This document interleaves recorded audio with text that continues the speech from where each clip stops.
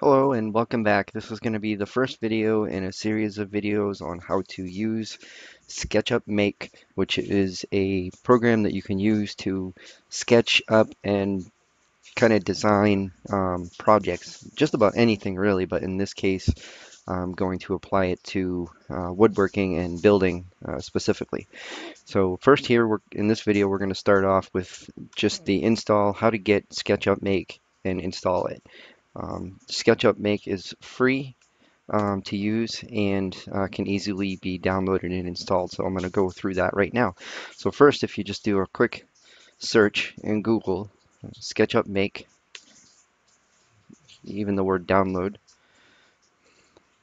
and then the first link that comes up on Google will be the download for SketchUp Make. And you just tell it what you're using it for. I'm just going to use it for personal projects. You need to put your email address in there, which I can just have automatically filled out, but you just put your email address in there. You can have them send you news and tips. Um, I choose not to, just because I get enough email as it is. And this here, you fill in what your interest is or your profession, and I'm just going to choose woodworking. You choose the platform you are installing it for. In this tutorial, is going to be for Windows because that's all I use. You agree to the SketchUp Makes license agreement. Click download SketchUp Make.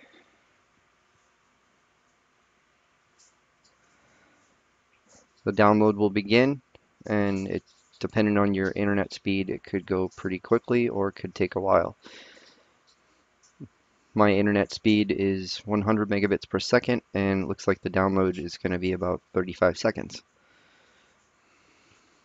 So depending on whether you're using, I'm using Google Chrome here, but if you're using Internet Explorer or Firefox, the download is going to look a bit different.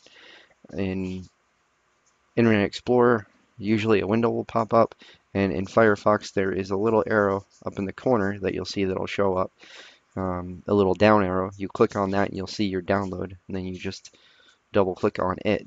And in Chrome, when you see the download finished, you'll see the timer stops. When that happens, you just click on it. You only have to click on it one time. And that will initiate the installer for SketchUp Make. And SketchUp will work a lot better if you have a more modern, newer computer, say something within the past few years. An older computer, um, there's a chance it may not run at all, but with uh, anything, at least within the past few years, you, you should have no trouble. So you just click next on this first screen, it's just welcome you to SketchUp Make. Um, leave the path as the default. And then it just says here, you're ready to install. Simply click on install and the installation usually doesn't take very long. And you'll just be looking for the progress bar to grow across until it's finished.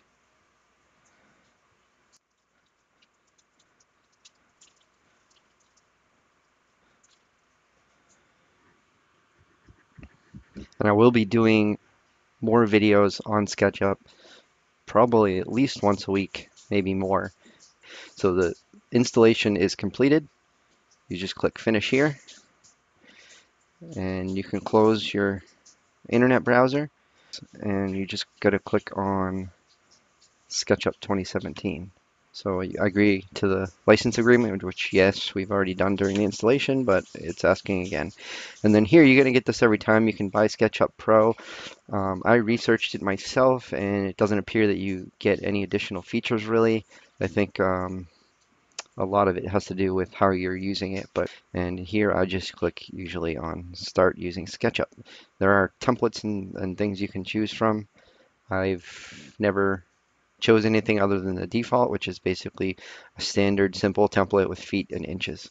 But normally you could just click on start using SketchUp and it will open up to the basic simple feet and inches template. And that is it. That's the install in the initial launch of SketchUp Make 2017. If you have any questions about this, um, if your scenario comes up to be a bit different or anything like that, you can definitely feel free to throw a comment in the comment section below asking any questions you'd like. I do IT work for a living, so if it's even something related to your computer, there's a chance I might be able to help you out. Um, and as usual, I appreciate you watching the video. Uh, I hope you'll join me on the next series, uh, next videos for the SketchUp series. And if you have a specific project or thing in mind that you'd like to see built in SketchUp, I can do a video on designing that particular thing. And if it's something that you like, um, when I do release that video, you can put a comment in the comment section and I'll actually send you the plan once it's once it's finished. So um, again, thanks for watching. If you have any questions, comments, concerns, or anything that you'd like me to address, again, throw that in the comments below. If you like this video, please hit the like button. That helps out the channel a lot. And at the same time, if you want to see more of these videos, definitely hit that subscribe button because when I put more videos out, you'll be notified as long as you hit that bell icon and then just check the box to say notify when, you know, the YouTuber puts out new videos. And that is it for this video. I hope you followed along and I hope everything went smooth for you. And I will see you on the next video.